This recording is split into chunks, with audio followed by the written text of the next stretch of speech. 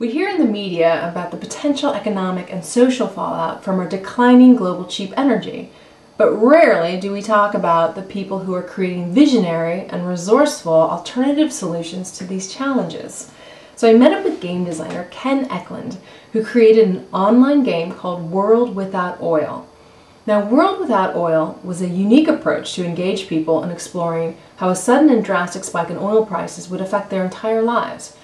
The game mimicked the first 32 weeks of a global oil crisis where anyone could play by uploading a personal story, a podcast, or a video documenting an account of their imagined reality. One method of increasing resiliency may lie in the power we have to shape our future by simulating events that summon us to participate in possible scenarios as a way to prepare and instruct through a crisis. Most of the people playing the game already had a very firm foundation of peak oil, or were people coming to No, it who didn't no. know anything There, about it? there was a um, significant minority of people, I'll say, um, Okay.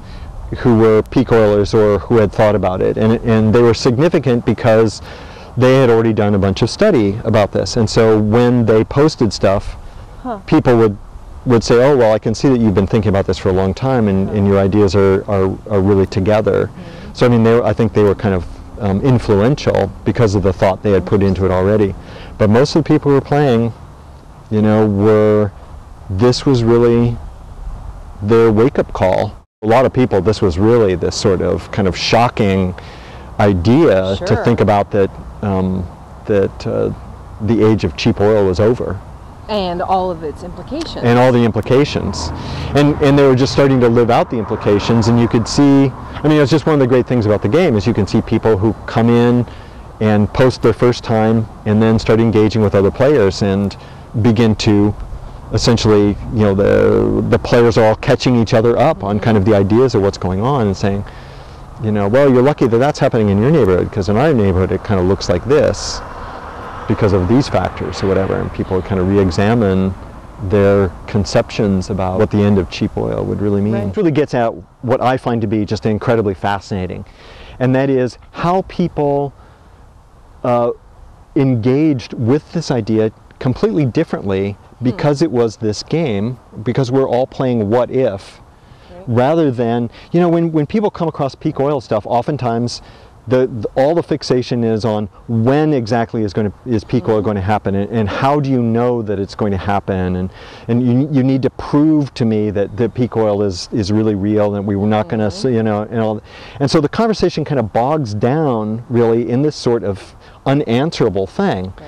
If you think about world without oil you just cut through that. Right. do you know what? It's it's happening. Okay. And and what you found one of the things first of all that you find out about world without oil is that when you tell people um, the oil crisis is here Uh-huh. they totally believe you. And they're not even all that concerned about what the reasons are. Because in the end i mean peak oil is it here already? Is it about to come and whatnot who cares Right. the Here question is what do i do here in Right. my life you know Mhm. to to actually be more resilient Sure. in the case of that happening and so that's what people really focused on Now, so do you think the people who have played World Without Oil have achieved framework that will help them and people they know to engage and be proactive in light of these oncoming challenges? Do you think these people may be leaders in their communities because they enacted it in their minds already?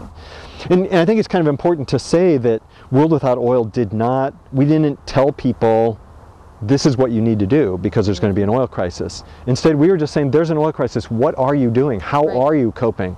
And so we were really open to people bringing their own ideas about what really made sense in their lives. In many ways, I think they're going to be leaders in their communities when the next crisis hits. It doesn't have to be the oil crisis. They've really Right. learned resilience to kind of anything Sure.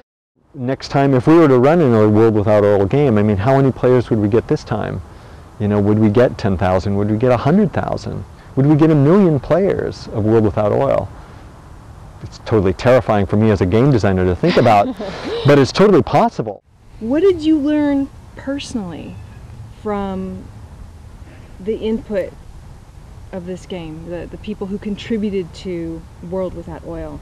I mean, did you have some really incredible personal insights or, you know, I mean, Yeah. you must have learned a lot Yeah. how you could go about solving problems in your community, right? Yes, indeed. When you actually get out there and start, and you just create this sort of mechanism where you actually extract people's authentic stories, they know a lot about a lot of different stuff. When you start to put them together in like these huge groups where they're all collaborating on these stories, they're incredibly creative about the stories. You know, when you start asking about what reality is, they're incredibly insightful about reality. You know, to me, what, what you find out in World Without Oil is, you know, for the right questions, even things where you think that you need to listen to the experts, Uh-huh. you get enough people together under the right circumstances, collaborating, they are smarter than the experts. And, and they're also smarter because they don't have any axe to grind. They're just trying to get at the truth, right? They're, collaboratively. They're just trying to figure out what's what. You know, they, they're not invested in some sort of scientific paradigm. You don't have to worry about who they're being paid by. Yeah. You know, where's their money coming They from and how beholden? They don't have a lobbyist at their door. I mean, this is really authentic stuff. And that, that actually is a good word to, to bring up in just an association with World Without Oil. It was authentic. I mean, it was the real deal. People were saying what their lives, you know, the, it's, it's really odd because, of course, in, to say that something which was totally fantasy, know, totally made up and fictitious, Wow. um, would be authentic. Yeah. But yet, when you go and look at the material online, you see exactly what that means. I mean, the scenario was fictitious, but what people are saying, that was their lives, that was their future. So anyway, that's that's what I've learned, uh, really from World Without Oil is, you know, the idea that collaboratively, we are really, really smart.